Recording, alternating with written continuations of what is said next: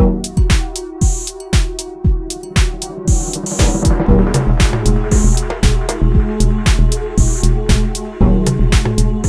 someone has a goal but they're not sure how to get there, I think the first thing is to see how passionate they are about the goal. Um, if they can't live without that goal, then they're on the right they're on the right road to, to, take the journey. If they can live without it, I think they should look for maybe another road where they can't live without. So that's the first thing that I would suggest to do.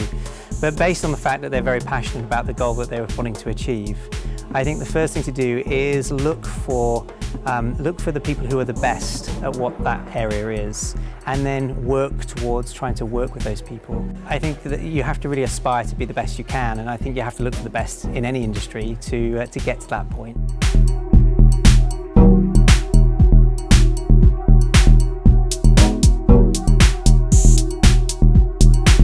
Know, my grandfather, who was a um, who was a big fan of boxing, always said to me, you know, you never know a true champion until he gets up off the canvas. And for me, I think that I think the thing that keeps you going, it's it's having it in your heart.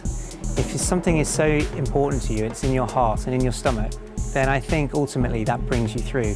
You have to have that belief. And I think that there are times when you don't believe, and there are times when you struggle. But I think that when you're in those moments, you have to remind yourself of why you started.